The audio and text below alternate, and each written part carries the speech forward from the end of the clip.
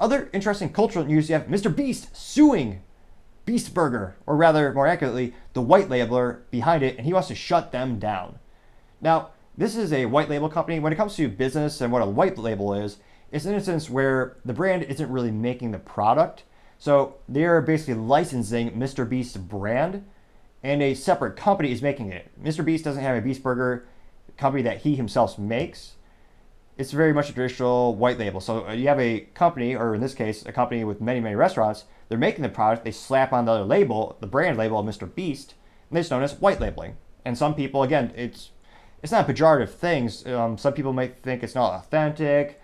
Uh, there are a lot of businesses that do it. Um, actually, BlackBerry back in the day, that's how they got started was these OEM contracts or original equipment manufacturer contracts.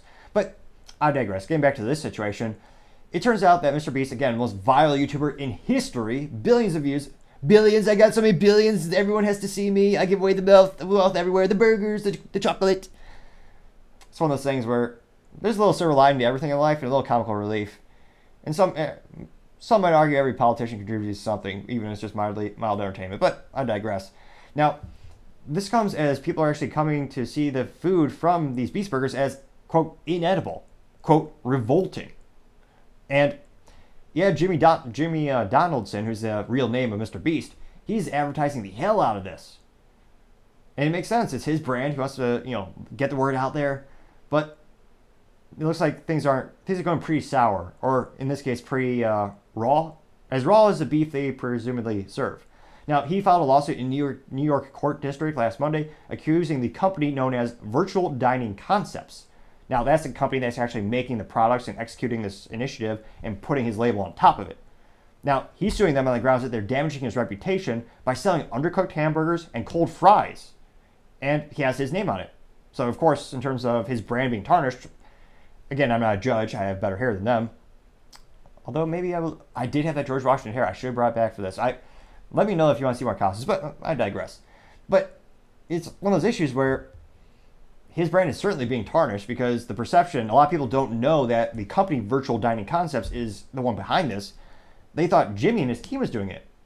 A down some a, a downside of a white label situation, sometimes an upside if it, they do a good job.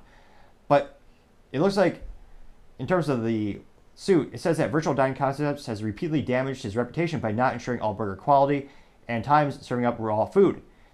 And interestingly enough, it also claims that Donaldson has yet to receive a dime from the venture, which is probably why he's suing as well. Again, this is someone who's worth more copious amounts of money than I can possibly fathom. These burgers are also, you know, geographically priced. In some areas, there's as much as much as ten dollars, while still being rated a two out of five which again, I know math scores in the United States are all time low. But let's just say two out of five is not such a good rating.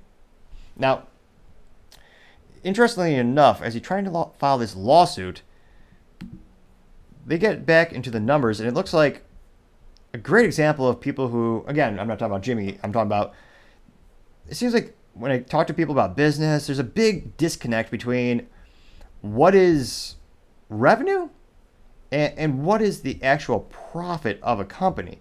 Now, going down into the depths of this, you're looking at all these documents, and I'm trying to come up, bringing up the actual statistics on and these burgers. These pictures are quite horrific. The, the um, past most disgusting things I've ever seen. Now, in terms of the numbers, it looks like last July, so that was two years into the venture, Donaldson bragged that they had made an astonishing amount of money. In fact, more than $100 million in revenue. AKA, that's $100 million coming into their business before they take into account all of the costs associated with the business. Now, it looks like the firm started with 300 locations in the US, but they expanded to 1,000 across North America. And in January, the cash earnings and the operations stood at $150 million. Now, the downside is when they account for the 30% fee paid to the actual locations who make them, as well as the cost of the ingredients, the shipping, the packaging, the storage, and other expenses, the net profit is only around $30 million. Now, again, that's still a great amount of money, but relative to $150 million, not as profitable as one might think. And interestingly enough, that amount of money is supposed to be split between Jimmy, aka Mr. Beast, and Virtual Dining Concepts, but hasn't been split yet.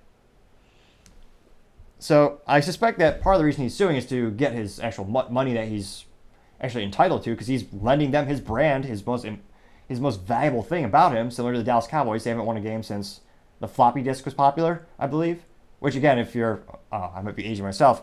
When you look at saving a document in Microsoft Word, if you see the top, a little icon up there. That's a floppy disk.